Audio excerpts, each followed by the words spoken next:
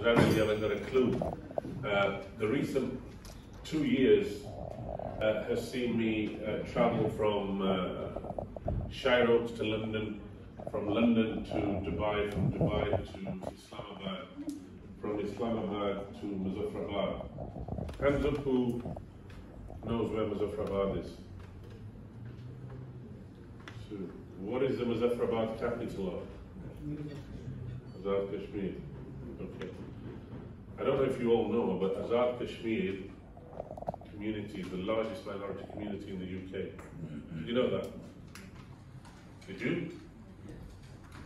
No, you didn't know that. Because people from Azad Kashmir are synonymous with Pakistan.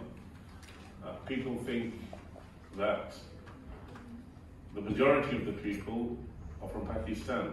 So if you divide them up, over a million living in the UK uh, from Azad Kashmir. And I took it upon myself with a group of like-minded people like Kabir to try and build the first cardiothoracic research centre and heart operation facility there. Because most of our elders who live there have a cardiac arrest 90% of them die in transit to Islamabad.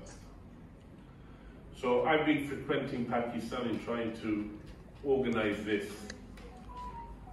Whilst I was there on my last trip, the flood happened.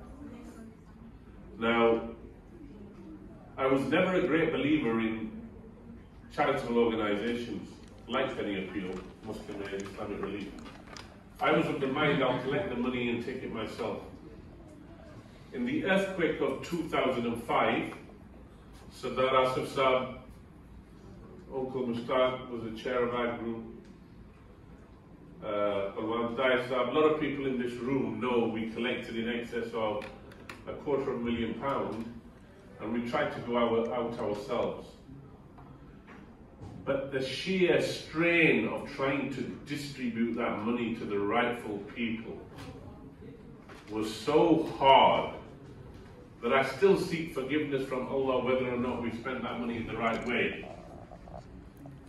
Having witnessed firsthand this time around that charities like Penny Appeal, Islamic Relief, Muslim, because they already work in the field,